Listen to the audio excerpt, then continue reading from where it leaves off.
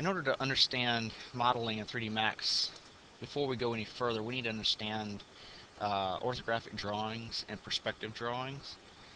Orthographic drawings, the left, top, front, can actually consist of six different projections. Top, bottom, front, back, left, and right sides. These little view cubes right here indicate that. So anytime we see a flat cube, we're looking at it straight on. That's the top. Left, this is the front. In 3D Max, we can change those. So right up here, if we click on top, click on top, and here are our projections that we can change. Now we're going to keep it the same. When we draw, at least starting in, in this class, we're going to keep it left, top, front. But you do have the option of changing, say, left instead of the left side to the right side. And that would go along with our orthographic drawings here. One other, th one other thing we need to understand about 3D Max is that we are drawing 3D models. Traditionally, we're used to the X and Y coordinates. And we have seen those throughout our lives drawn like this, where we have our X and we have our Y. This is a two-dimensional grid. In order for us to draw in 3D, we have to add another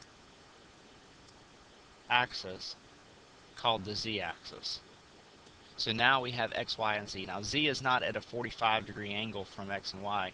It's actually going behind x and y to produce that three-dimensional look. In this uh, Cartesian coordinate system, the, the x and the y, where these x, y, and the z intersect, we're going to draw the others here. Where they intersect is going to be our 0, 0, 0 coordinate. So traditionally, we used to write it x, y. Now we have to add our z coordinates. So we have our triple zero, zero, zero, zero. So if we have something